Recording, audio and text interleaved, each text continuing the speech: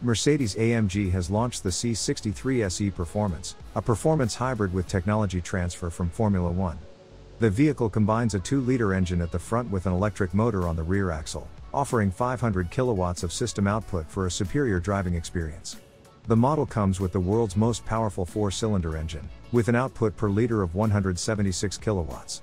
It also features fully variable AMG Performance 4MATIC Plus all wheel drive and active rear axle steering for the first time in the Mercedes AMG C Class.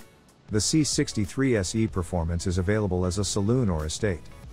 The hybrid powertrain is designed for maximum performance and the independent layout ensures a balanced weight distribution, which benefits driving dynamics and handling in equal measure. Depending on the driving mode, the electric motor boosts power and torque according to the situation, for a particularly comfortable or performance oriented driving experience. All electric driving is also possible. The electric powertrain and the high performance battery with 400 volts are AMG exclusive, in house developments.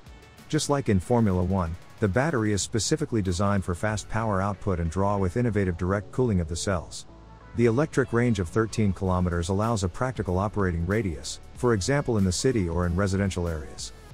Other highlights of the new model series include a fully variable all-wheel drive system AMG Performance 4MATIC Plus which is used to transfer the drive power to the road and includes a drift mode for even more driving pleasure. Active rear axle steering is also included as standard, another unique feature in this segment. The C63 SE Performance also features an expressive design with a striking front apron and large air intakes. The car is finished with a diamond grille, which is a brand typical feature of AMG models. The saloon and estate models are both based on an extensively modified AMG body in white. The front end is 50 mm longer and the front wings are wider. In terms of length, the saloon and estate measure an extra 83 mm. The suspension, steering, and brakes have all been adapted for the new powertrain. The suspension setup with an enhanced steering ratio and a wider track at the front and rear provides enhanced lateral stability, precise handling, and a high level of driving dynamics. The front suspension is based on a 4 link concept and the rear suspension on a 5 link setup. The three stage adaptive damping system, ADS, adapts the damping force to the current driving situation and the driver's style.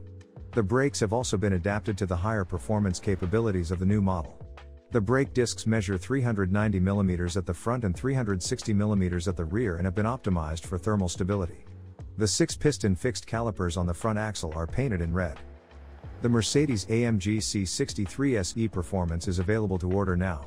The saloon starts at 97,443 euros and the estate at 99,928 euros.